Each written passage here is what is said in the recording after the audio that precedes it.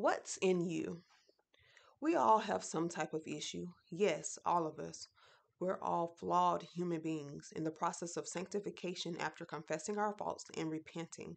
Slowly, God works within us, cleaning out the filth we put in there. The crazy part? Some of it was implanted in our DNA. Just think about your parents and how they were before coming to Christ, if they made that change. And if they haven't, well, God bless you.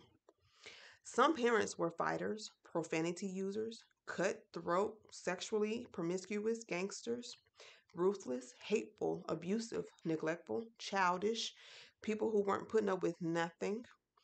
And then you had the type who were kind hearted, sensible, loving, mature, responsible, go getters, committed, thoughtful, forgiving, teachers, the type we all strive to be.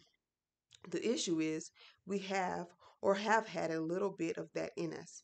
We were all born into sin, shaped in iniquity, but some generational stuff is in us, whether we like it or not.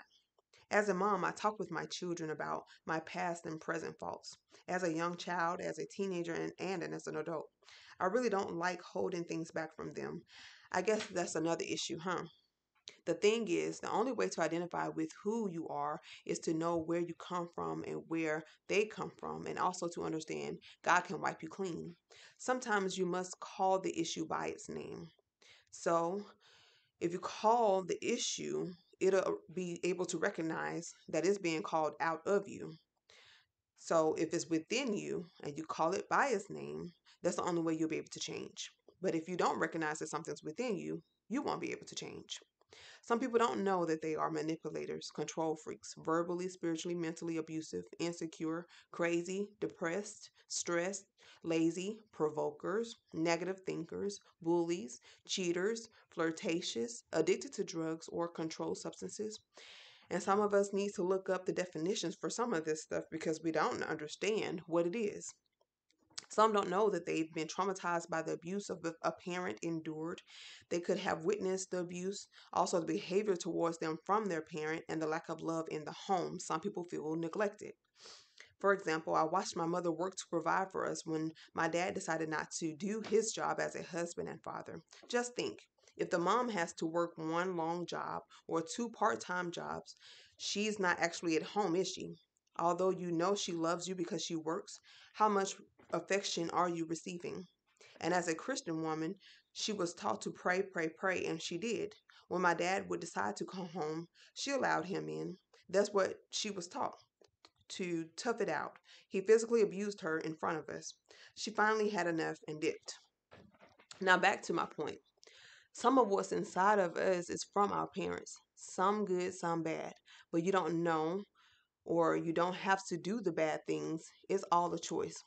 Some of a, some of what's inside of you is from your parents. Some good, some bad, but you don't have to do the bad things. It's all a choice.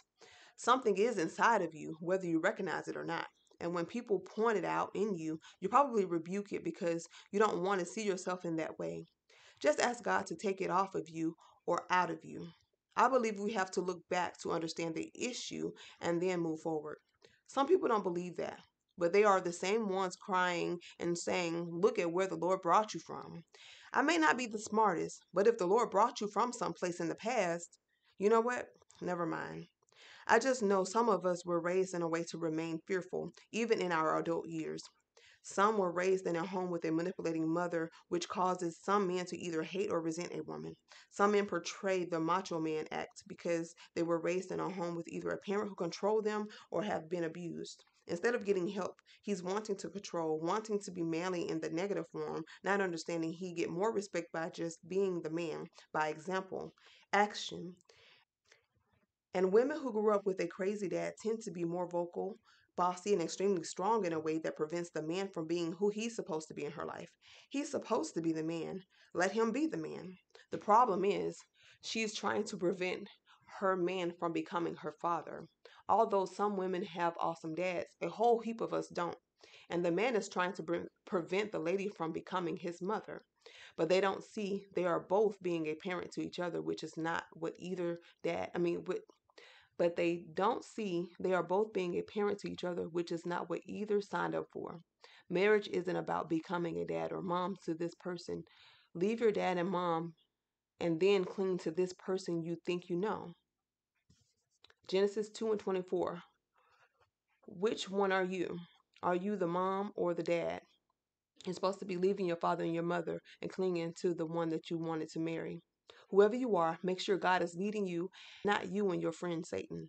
Don't forget to pray without ceasing to the right God, please. 1 Thessalonians 5 16 through 18. Read that and meditate on it. I hope you have a good day, and I'll catch up with you later. All right? Bye. Thank you for watching Inner Thoughts and listening to my audio. I will see you next time. Please don't forget to like, comment, and subscribe. Hit the notification bell, all right? See you next time. Bye.